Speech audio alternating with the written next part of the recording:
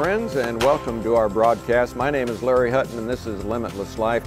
Once again, today we're going to be getting into the Word of God to hear the good news, the nearly too good to be true news, is what some people think. That can it be really that good, or is this just makeup, is just fallacy?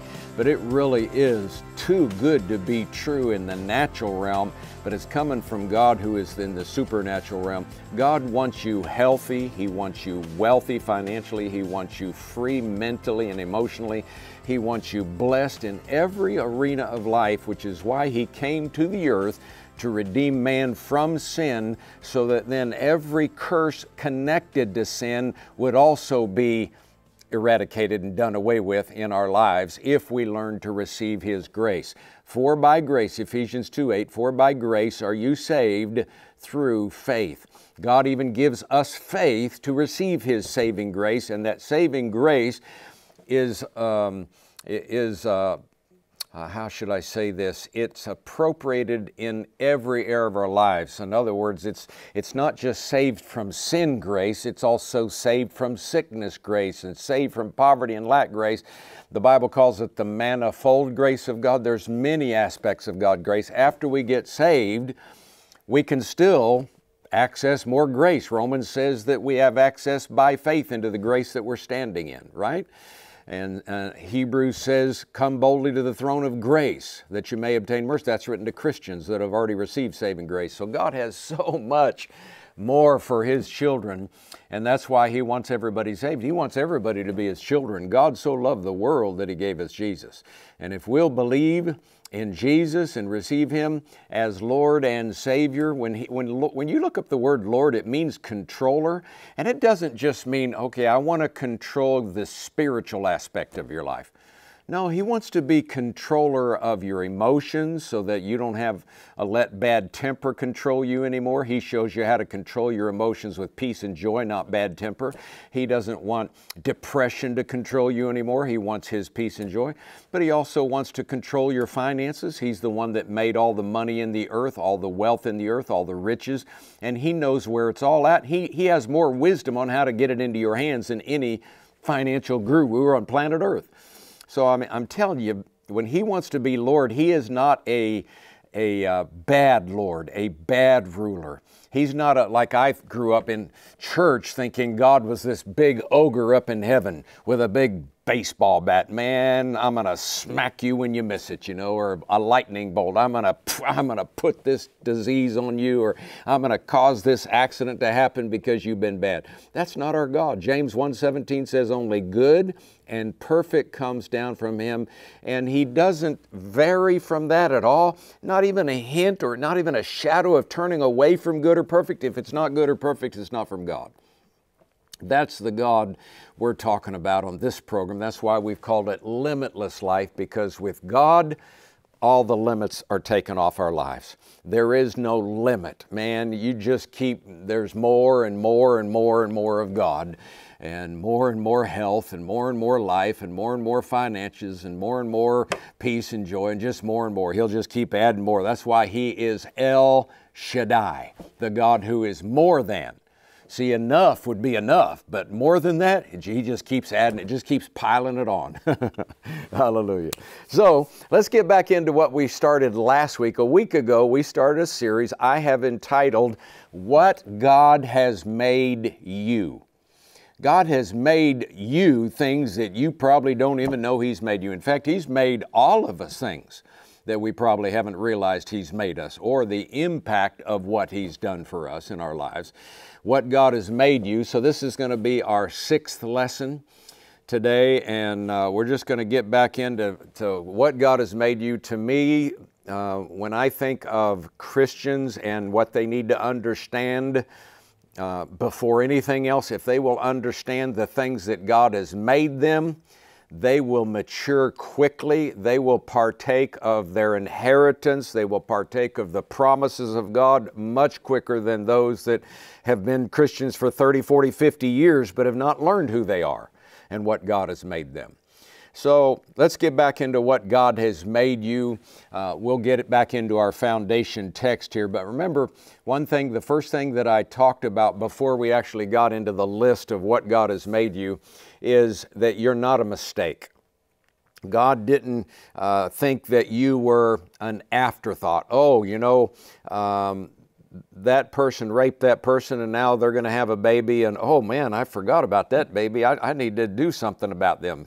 No uh-uh. when god saw you in fact we looked at the different verses last week about all the scriptures that show you that you were formed in the womb and that you were beautifully made and, and so you're not an afterthought you're not a mistake.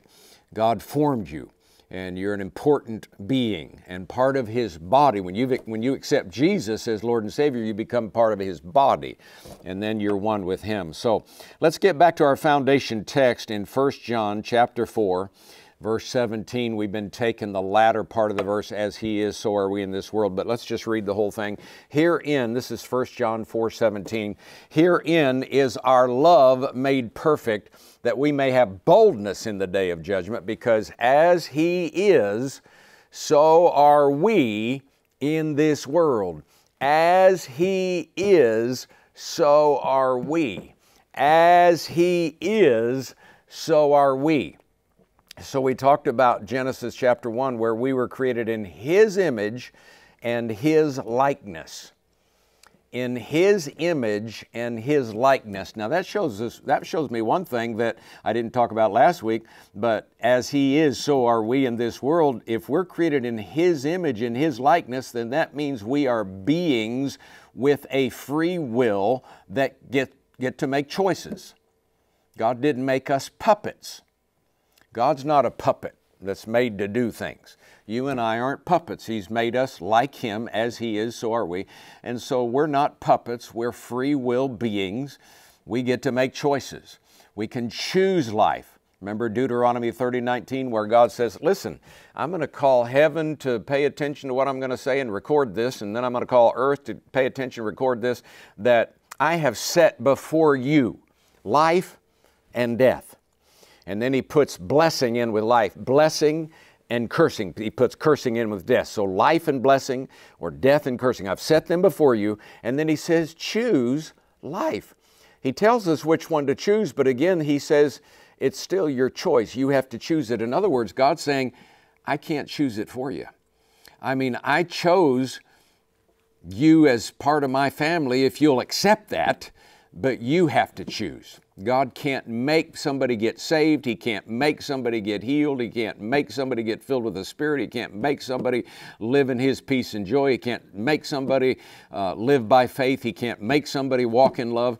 God can't make us do anything, and He doesn't want to. He made us like Himself. As He is, so are we. And then I thought of something else with that statement. As He is, so everything He is so are we.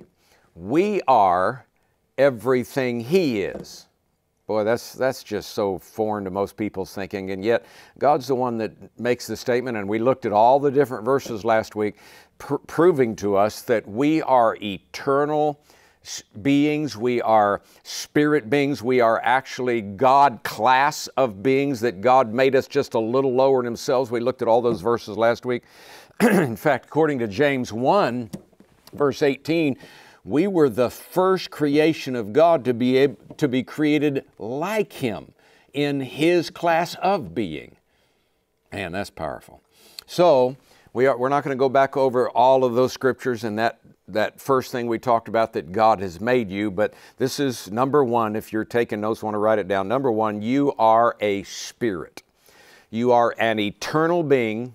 You have been created in His image and His likeness. He created you in His class of being, a God class of being. I'm talking right below Him. That's where you're at. You're above angel class of beings. You're right below the God, God Himself class of being. So, as He is, so are we in this world. And then the second thing that we were uh, discussing that God made us is that God has made you one of his immediate family members. You are a child of God. As the Bible says, you're an offspring of God Almighty. You are one of His very own sons or one of His very own daughters. That's amazing right there, just, just uh, that. Let's look at some more scriptures along that line and just, um, just build on this that we are, we are God's family, immediate family, not extended family, immediate family with privileges of immediate family. um, let's look at 2 Corinthians, what Paul said in 2 Corinthians chapter 6. He's actually talking in here in 2 Corinthians 6, where we're getting ready to read, he's talking about you and me being temples of God. In other words, God living in us and that we need to be different than the world or different than those that don't have God in them, different than unbelievers. And then in verses 17 and 18, he says this 2 Corinthians 6 17 and 18, Therefore, come out from among them and be separate, saith the Lord. Do not touch what is unclean, and I will receive you. I'm reading from the New King James. Verse 18 I will be a father to you and you shall be my sons and daughters, says the Lord Almighty. I just want you to stop and, you know, the, the, uh, the statement you'll hear some preachers say, Selah.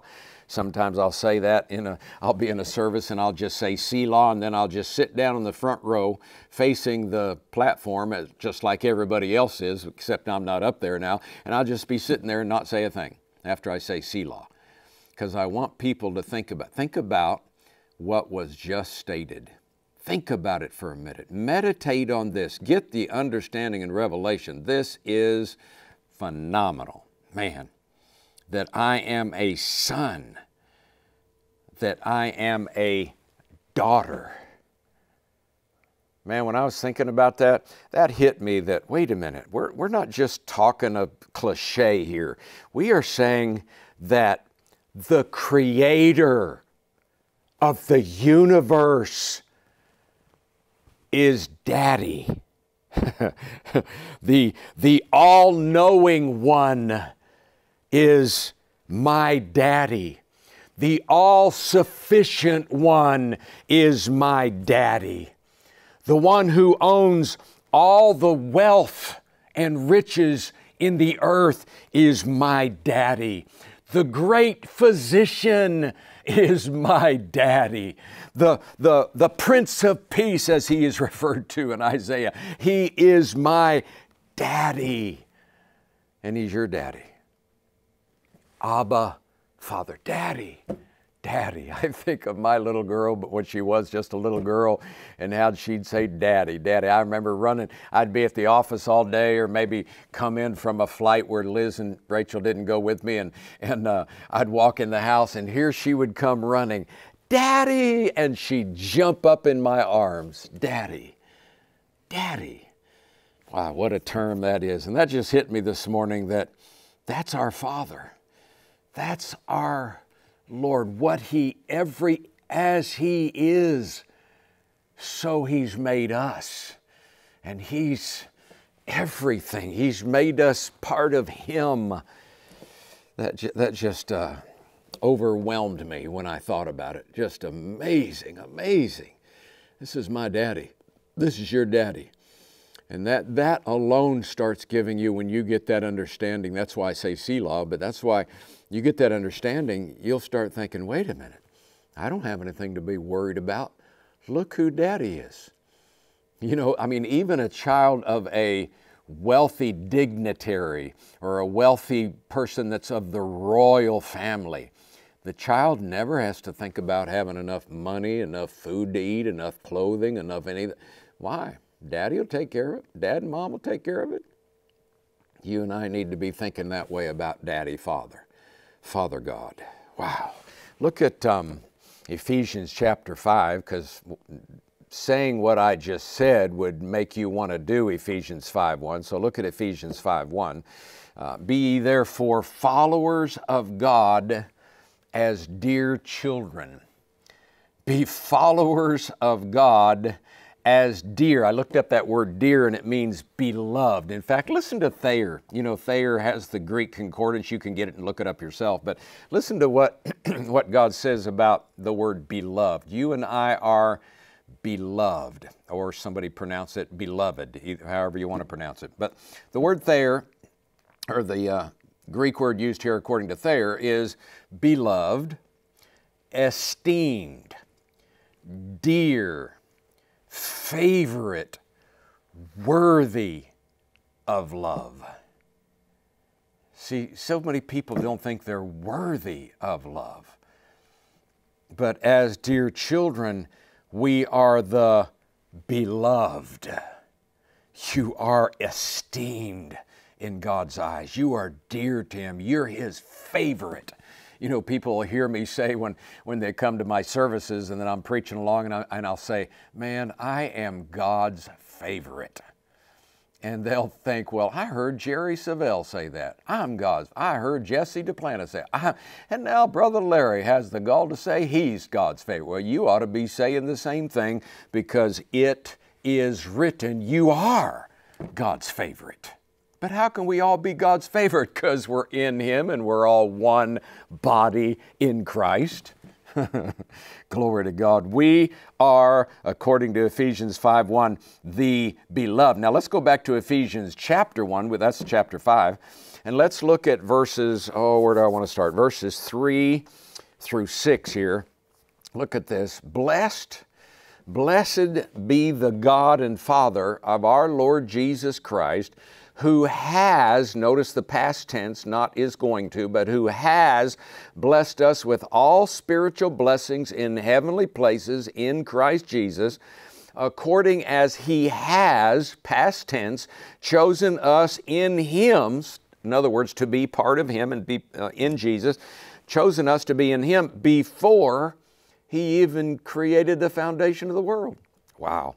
That we should be holy and without blame before Him in love, having predestinated us uh, unto the adoption of children. Remember, we talked last week, we've been adopted and, and we're just as much, much a part of the family as the Jewish who were not adopted uh, part of the family. They were part of the family. If they accept Jesus, we accept Jesus as Gentiles, even though we're not Jew, then all of us become one in Him Of course, you do. Whether you're Jew or Gentile, you still have to call on the name of Jesus or you're not saved. Just because you're Jewish doesn't mean you're saved. Uh, um, and if you're a Gentile, you have to call on Jesus to be saved. So either one. Having predestinated us into the adoption of children by Jesus Christ to Himself, according to the good pleasure of His will, to the praise of the glory of His grace, this is what I wanted you to see, wherein He has made us accepted in the beloved. Remember, we just looked at Ephesians 1 be followers of God as dear children. Remember, we found out that word dear is beloved. This word beloved is actually the Greek word agapeo. Listen to the four, I want you to hear this. This is so good when I was studying this. The four things that Thayer gives as definitions, and then I'm going to address each one, elaborate on each one. So here's the fourth definitions when, when it says, He has made us accepted in the beloved. We are now in the beloved. So here's what the four things that Thayer's Greek uh, lexicon says as definitions to welcome, to entertain, to be fond of, and to love dearly. So let me take those four things to welcome, to entertain, to be fond of, and to love dearly, and let me just uh, elaborate on them. To welcome. You know what? To welcome would, uh, would imply uh, someone who welcomes you into their home and man, they're just so glad you're here. They make you feel welcomed. I'm sure if you've been like me, you've been to places where you didn't feel welcomed. But when you go into a place and they make you feel welcomed, I mean, it's just, it just, it's special. It just makes you feel really special because you have been welcomed. The next definition, to entertain. That speaks of someone who wants to spend time with you. In fact, they want to do things, entertain. They want to do things for you. Wow. And then to be fond of is the third thing. To be fond of, that speaks of someone that really, really likes you. I mean, they like you a lot. They cherish their relationship with you. And you can tell when somebody cherishes your relationship and they're fond of you. You can tell in the natural, and that's what God is to you. And then the fourth definition of the word beloved to love dearly. This speaks of someone who loves you no matter what you do. And, and, and even they would even lay down their lives for you. That's what, that's what it's talking about when God calls you the beloved. Wow. He esteems you.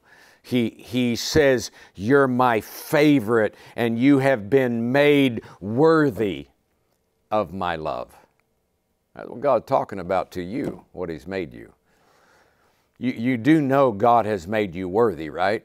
You know, there may be some watching and and maybe you feel, yeah, but I just have done so much wrong and I don't feel worthy. Let me, let me talk about that for a minute because sometimes people have heard, even over in 1 Corinthians chapter 11, they've heard a verse stated there that's made them feel that they're not worthy. Uh, so I'm going to turn over there real quick and let me just show you 1 Corinthians 11 verse 27. And look, this is where Paul was actually talking about taking communion. Remember, he said, As often as you do this, do this in remembrance of me. He was quoting Jesus. And so Jesus said, You know, you when you partake of the bread, it's like you're. Uh, remember, it's my body that was broken for you. When you partake of the cup, remember my blood was shed for you. Anyway, he gets to verse 27 uh, 1 Corinthians 11 27, whoever uh, shall eat of this bread and drink of this cup of the Lord unworthily shall be guilty of the body and blood of the Lord. So people have taken that and they thought it was saying, if you're unworthy, you're going to be guilty. And that is not what the word here unworthily means. It doesn't mean unworthy. Actually, if you look it up, don't take my word for it, just get out Strong's Concordance or Thayer's, whatever else. You'll find out the word unworthily is actually talking about the manner in which you're receiving those elements. Or we could say it this way irreverently. In fact, that's one of the definitions in the Greek irreverently. So, uh, uh in other words, it's not talking about whether you and I are not worthy or we are worthy. It's actually saying, don't take this lightly. This is a serious matter. Jesus' blood was sacrificed for you, and his, or, or, his body was sacrificed for you, and his blood was shed for you. So take this seriously. And he said you're doing it in remembrance, so that sounds like a holy thing to me. So um, just understand that God has made you worthy. If you've accepted Jesus as your Lord and Savior, He has made you worthy. Look at Hebrews chapter 10. Hebrews 10 19.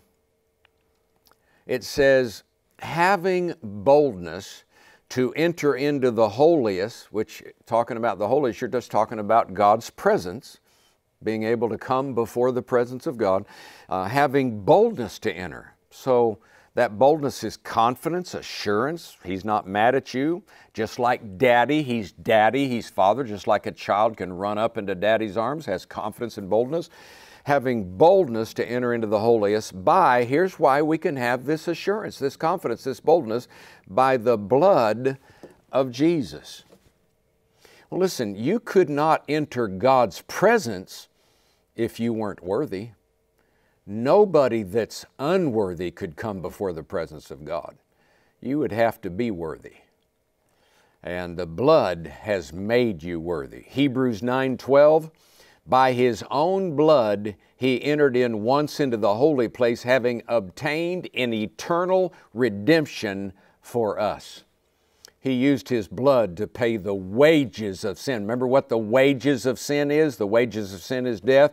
So blood was spilled, Jesus' blood, to pay for death. So we are now redeemed from sin, which means we're redeemed from spiritual death, separation from God, which put us back into the state of existence like Adam. Before sin, Adam walked with God. Why? He was worthy. After sin, he wasn't worthy. You and I have been freed from sin by the blood of Jesus, so we are made worthy. Colossians 1:14 says, "We have redemption through his blood, even the forgiveness of sins." Wow. Man, I'll tell you what, that's powerful. That is so powerful. So I'll tell you what, we're out of time, so we're going to pick back up here next lesson. Every lesson could stand alone in a lesson that could build you up, edify you, recharge you, I mean, relight your fire, you know. And yet, everyone is just going to keep fitting together and keep just solidifying what God has made you so you can be all that God's made you to be. Thank you. Thank you for joining us today. Make sure you share this on social media, every other way you can share these uh, teachings so other people have the same opportunity you have to be blessed and change. And then partner with us. I know some of you are. Thank you for partnering. You partners are helping us reach other people that are watching and haven't yet partnered. So thank you for doing that. See you next time. Have a Jesus filled day. If you would like to schedule Larry Hutton to speak at your church, event, or conference, go to larryhutton.org and choose Contact Us from the menu bar or call 1 888 887 WORD. Jesus paid an incredible price for us when he laid down his life, took on our sin, died on the cross, and descended into hell. But then he was raised up again in glory, so all who believe on him could become just like him, walking in love, joy, and peace, doing his mighty works, winning souls, and making disciples. The world constantly tries to limit you, but you need not go through life believing that you are what circumstances, background, or failures have forced you to be. Who does God say He has made you to be? What does God say He has given you? What does God say you are able to do? Larry Hutton goes to the Bible to reveal all that God has done so you will be able to fulfill your divine purpose and destiny on the earth. In Christ, you have all things to build you up into the believer that God designed you to be. To order, he was, I am. Go to larryhutton.org or call 888 887 WORD. Join us again for Limitless Life with Dr. Larry Hutton where you'll get practical teaching from God's Word that you can apply to your everyday life. Go to larryhutton.org to watch this program and many others. You'll find special offers and resources to help you thrive in life. You can check on Larry and Liz's schedule and join them at a meeting near you. That's larryhutton.org, or you can call 888 887 WORD.